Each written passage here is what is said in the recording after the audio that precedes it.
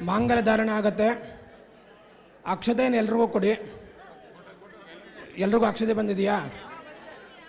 ಅಕ್ಷತೆ ಹಾಕೋರು ಯಾರೋ ಸ್ಲಿಪ್ಪರ್ಸನ್ನು ಹಾಕ್ಕೊಂಡು ಎಸೆಬೇಡಿ. ಮುಂದೆ ಬಂದು ಭಗವಂತನ ಸ್ಮರಣೆ ಮಾಡಿ ಅವ್ರಿಗೆ ಅಕ್ಷತೆಯನ್ನು ಹಾಕಬೇಕು. ನೀವು ಹಾಕಿದ ಪ್ರತಿಯೊಂದು ಅಕ್ಷತೆ ಅವರಿಗೆ ದೀರ್ಘವಾದ ಆಯು ಆರೋಗ್ಯ, ಐಶ್ವರ್ಯ, ವೃದ್ಧಿ ಆಗಬೇಕು. ಆಯಿತಾ? ಅದಕ್ಕೋಸ್ಕರ ಭಗವಂತ ಸ್ಮರಣೆ ಮಾಡಿಕೊಂಡು ಅಕ್ಷತೆಯನ್ನು ಹಾಕಿ. ನಾನು ಹೇಳ್ತೀನಿ ಆವಾಗ ಅಕ್ಷತೆ ಹಾಕಿ. ಸರಿನಾ?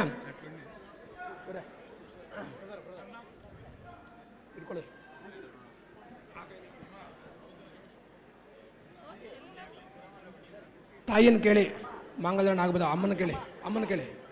ಕರೆಕ್ಟ್ ಕರೆಕ್ಟ್ ಆಗಿದೆ ಅಮ್ಮನ ಕೇಳಿ. ಮಾಂಗಲ್ಯನ ಆಗ್ಬೋದು ಕೇಳಿ. ಮಾಂಗಲ್ಯನ ಆಗ್ಬೋದು ಕೇಳಿ.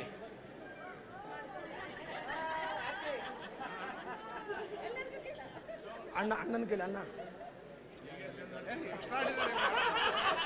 ಅತ್ತಿಗೇನು ಕೇಳಿ. ಅವರನ್ನ